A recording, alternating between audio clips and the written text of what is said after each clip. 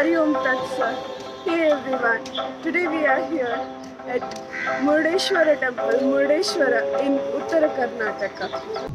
The temple we see today was built in the 16th century by a local chieftain named Tulwa King. Later, the temple was renovated and expanded by several rulers, including the Vijayanagara Empire, the Keladi Nayakas, and the Vadiyar dynasty. Today, the Murdeshwara temple is a significant pilgrimage site for devotees of Lord Shiva who come here to offer prayers and seek blessings. The temple complex also includes a 20 storied Gopura, the second tallest Gopura in the world, and a 123 feet tall statue of Lord Shiva, which is a major attraction for visitors. Murdeshwara temple has a close connection with Gokarna temple. You want to know how? According to legend, the temple was built on the site where Lord Shiva appeared before Ravana, the demon king of Lanka. Ravana was a devout follower of Lord Shiva and wanted to take him to Lanka. Lord Shiva appeared before Ravana at this spot and gave him an Atmalinga, a powerful lingam that represents the divine essence of Lord Shiva. Lord Shiva instructed Ravana to take the Atmalinga to Lanka, but on the condition that it should not be placed on the ground until it reaches its final destination. If it were to be placed on the ground, it would remain there forever. Ravana, eager to take the Atmalinga to Lanka, decided to perform his evening prayers on the way at Gokarna. Lord Ganesha, in the disguise of a young Brahmin boy, appeared before Ravana and offered to hold the Atmalinga while he performed his prayers.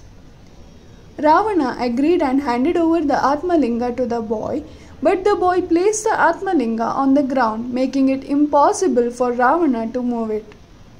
This enraged Ravana and he tried to uproot the lingam from the ground, breaking it into several pieces. The pieces of the Atmalinga fell at different places across India, and the one that fell in Murdeshwar is believed to have given rise to the temple. In the 18th floor of the Gopura, there's a sky deck which allows us to see Murdeshwara in the bird's eye. Now we are looking at the second tallest Shiva statue in the world. Under the Shiva statue, there's a passage which leads to a cave which has beautiful sculptures narrating the stories of Shiva in Murdeshwara.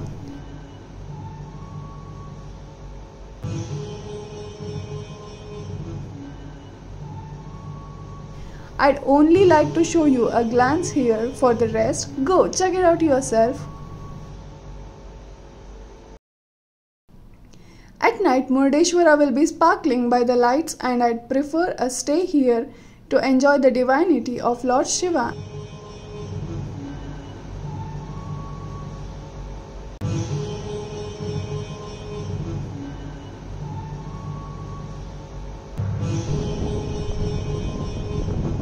Yummy breakfast that was provided at the Bhojanashala, the food house.